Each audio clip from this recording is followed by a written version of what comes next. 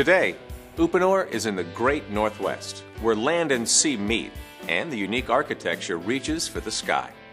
Just outside of Seattle, in Bellevue, Washington, there's a new building project underway. It's the new Bellevue Towers, and Uponor is there. Built by Hoffman Construction and plumbed by McKinstry Mechanical, the new LEED certified buildings will reach 42 and 43 stories. The builders needed a way to efficiently plumb the entire facility. So McKinstry Mechanical turned to their friends at PacWest and Uponor to come up with a solution.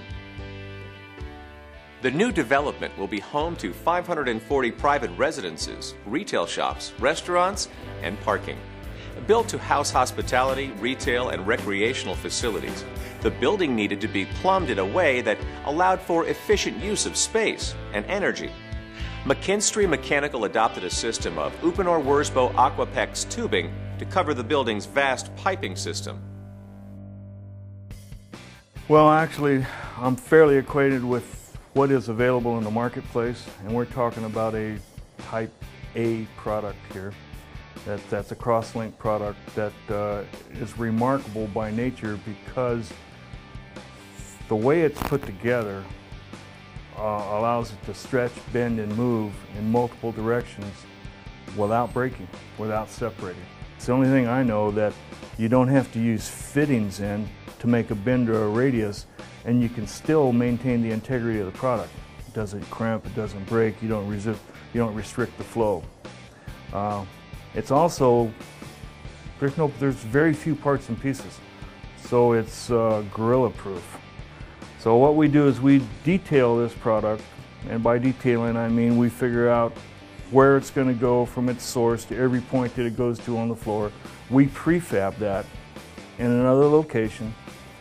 We fly it up to the deck in place, and we'll install 3,000 feet of that product in four hours with a four-man crew.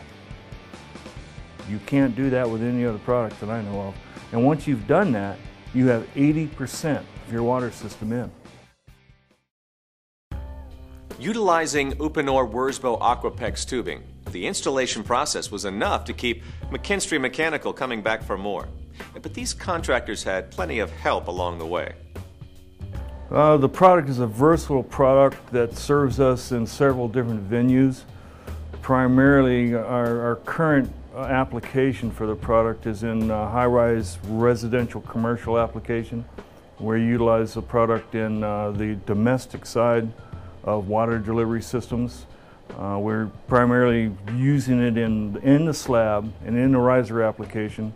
Uh, on an average, we'll probably install approximately a million feet of product in, in a given year. Currently, we have 383 floors of application under contract and in progress. Early on uh, last year, as the hard drawn material became available in two inch, and we saw an application in our current projects with the way our water zones break down, we saw opportunity to employ the product. There was no installation guideline for that product. So what we did at that point is we engaged with Uponor and their engineering department and we combined in a collaborated effort to write a installation spec that would satisfy any local authority and then become part of their uh, manufacturing installation data. And that is a good example how uh, the two industries meet in the middle on what's best for everybody.